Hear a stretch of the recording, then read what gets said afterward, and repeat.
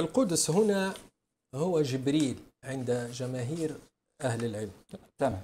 أه، وقد جاءت جاء بيان ذلك في القرآن وفي السنة. نعم. مثلا في القرآن قال الله تعالى نعم. قال الله تعالى قل من كان عدوا لجبريل. من كان عدوا لجبريل فإنه نزله على قلبك بإذن الله مصدقا لما بين يديه. جبريل نزل بالقرآن على قلب النبي صلى الله عليه وسلم.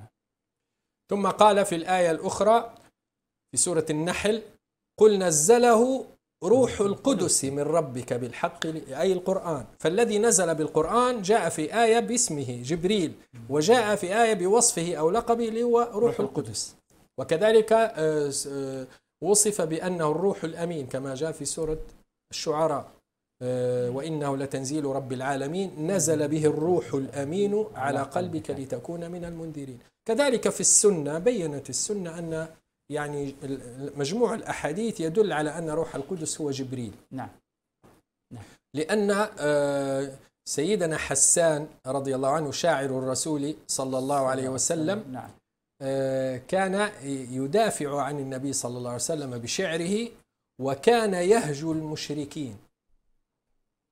فجاءت الأحاديث المختلفة. جاء بعضها آه، إن روح القدس ما زال يؤيدك. حديث عائشة في الصحيحين إن روح القدس ما ما زال يؤيدك ما نافح ما نافحت عن الله ورسوله. يعني مدة منافحتك ومدافعتك عن الله ورسوله في وجه العدو وفي وجه المشركين فروح القدس معك. وفي الرواية الأخرى وجبريل معك.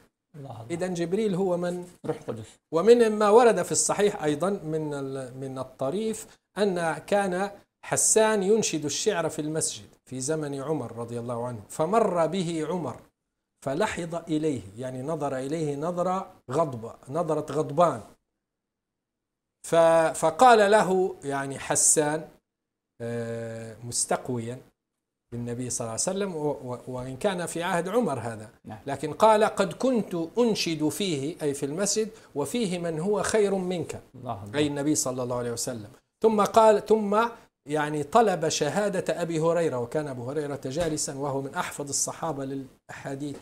قال يعني أنشدك الله أما سمعت النبي صلى الله عليه وسلم يقول أهجهم وجبريل معك أو روح القدس معك. قال نعم سمعت النبي صلى الله عليه وسلم يقول ذلك. فجبريل هو روح القدس. آه يعني بعض المفسرين هناك قول ضعيف يقول إن روح القدس هو الإنجيل. وقد ضعف العلماء منهم ابن جرير الطبري ضعف هذا القول لأنه يعني آه ذكر ذكر آه روح القدس إذا قلنا إن روح القدس هو يعني الإنجيل فيكون في هناك تكرار لأن الإنجيل ذكر في السياق. نعم نعم. فيكون هناك تكرار لا داعي له. وهذا قاله ابن جرير وثم نقله عنه غيره أيضا. ف وجماهير المفسرين كما يقول ابن تيمية رحمة الله عليه أن أن روح القدس هو جبريل.